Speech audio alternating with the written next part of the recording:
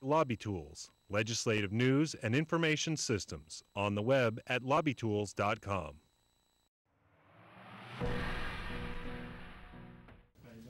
Antonio Lockridge is homeless. Bad circumstances in California. Um, lost my home, lost my job. Antonio was one of the first to be tested for TB by a Tallahassee health clinic set up next door to the homeless shelter after a spike of cases among homeless in Jacksonville. See you Wednesday, okay? Okay. Okay.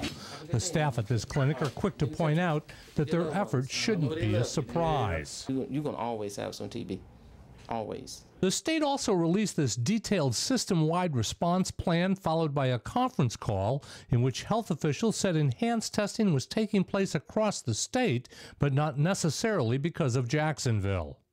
rate of tuberculosis in Florida is coming down in 2012.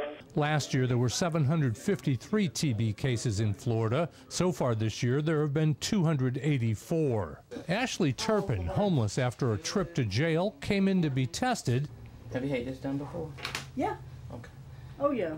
after she slept in a packed homeless shelter.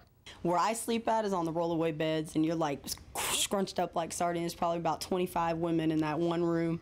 TB is curable once detected. Severe cases can require isolation. The state just closed A.G. Holley. It was the last TB hospital in America. Future cases will go to hospitals or select boarding houses.